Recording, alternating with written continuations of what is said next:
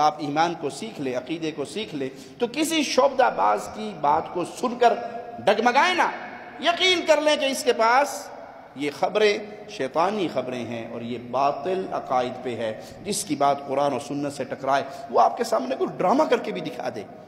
وہ آپ کے سامنے ڈرامہ کر کے بھی دکھا دے، تو شیاطین کو بطور آزمائش بطور آزمائش چیزوں سے نوازا کیا ہے جو ہمارے لیے فتنہ ہے۔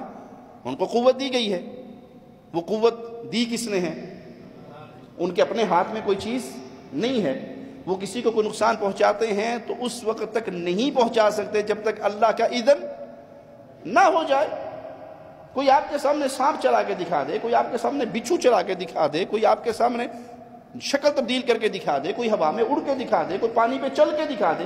کوئی بھی ایسا کام کر کے دکھائے جو آپ کی عقل کے خلاف ہو اور وہ بات ایسی کرے، وہ دعویٰ ایسا کرے جو کتاب و سنت کے خلاف ہو، تو اس کی اس ٹوٹکوں سے، اٹکل پچووں سے، ان باتوں سے اس کی صداقت پر یقین نہیں کیا جائے گا، بلکہ یقین یہ کیا جائے گا کہ یہ شیطان ہے، یہ شیطان ہے اور اس کے پاس جو کچھ ہے۔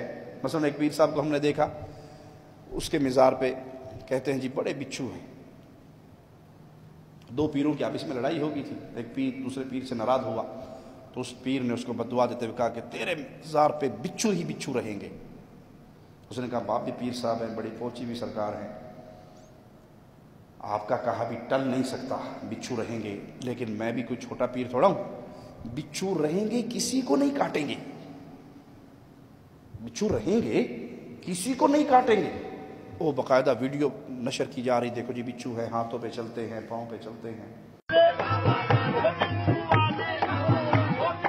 اگر ایک بھی بچھو کسی کو دکھ جائے تو اس کے حلق سے چیخ نکل پڑتی ہے۔ لیکن یہاں تو بچھوؤں کا میلہ لگا ہوا ہے۔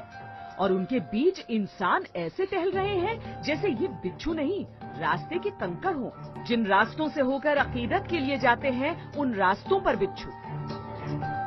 جس درگاہ میں دعا مانگنے جاتے ہیں، اس کی دیواروں پر بچھو۔ اور جس فقیر کی زیارت کو جاتے ہیں، ان کی مزار پر بھی بچھو۔ لیکن انسانوں کو بچھوؤں کا خوف، نہ بچھوؤں کو انسانوں کا ڈر۔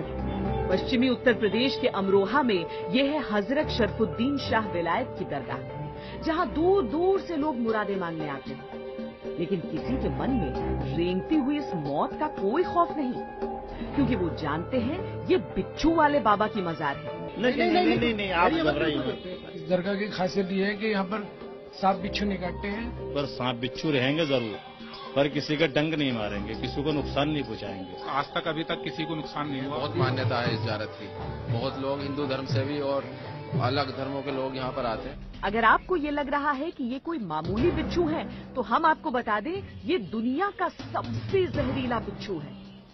ان کا ڈنگ اگر کسی کو چھو جائے، تو اس کا زندہ بچنا بہت مشکل ہے۔ بچھو کے سوبھاؤ میں ہوتا ہے ذرا سی آہٹ ملتے ہی ڈنک مارنا۔ لیکن یہ تصویریں ادبت ہیں۔ لوگ یہاں نہ صرف ننگے پیر بچھوؤں کے بیچ گھوم رہے ہیں، بلکہ بچھوؤں سے کھیل بھی رہے ہیں۔ بھائی شیاطین چنات سانپ کی شکل میں، بچھوؤں کی شکل میں، جانوروں کی شکل میں ظاہر ہوتے ہیں۔ اس میں کوئی عجیب بات نہیں ہے۔ وہ جنات ہیں، وہ شیاطین ہیں جو لوگوں کے عقیدے کو خراب کرنے کے لیے آپ کو ڈرامہ بازی کر کے دکھا رہے ہیں۔ گھر میں سانپ نظر آ جائے تو کیا حکم ہے حدیث میں؟ کہ اس کو مارنے سے پہلے آپ اسے کہہ دو کہ اللہ کی کوئی اور مخلوق ہے تو ہمارے گھر سے چلی جا۔ اب وہ کوئی آپ کو یہ ڈرامہ کر کے دکھائے کہ ہمارے پیر جی کی قبر پہ بچھو ہیں، ہم اس کو ہاتھ میں اٹھاتے ہیں اور وہ ہمیں کاٹتا نہیں ہے۔ اس کی بنیاد پہ یہ مان لیا جائے کہ پیر صاحب مشکل کشا و حاجت روا ہے ان کی قبروں کو سجدے ہوں گے، ان کی قبروں کا طواف ہوگا، ان کی قبروں کو کے گلاب سے دھویا جائے گا، چادریں چڑھیں گی، عرس لگیں گے، میلے ہوں گے، شر کا سارا دھندا چلے گا۔ کیوں؟ یہ اتنی پہنچی ہوئی ہستی ہے کہ انہوں نے بچھوؤں کو قابو کیا ہوا ہے۔ تو اللہ کی ہر مخلوق کس کے ہاتھ میں ہے؟ ارے تم جیسے کروڑوں پیروں بابے اکٹھے ہو جائیں۔ محمد الرسول اللہ صلی اللہ علیہ وسلم کے قدم مبارک سے اڑنے والی خاک کے ایک ذرے کے برابر بھی نہیں ہو سکتے۔